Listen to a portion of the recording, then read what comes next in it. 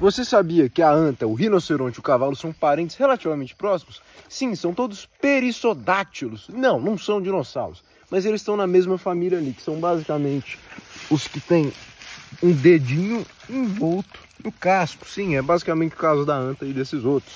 E eles são animais super diferenciados e a anta tem uma mordida surreal de forte. A gente pode ver isso só pela estrutura dela aqui.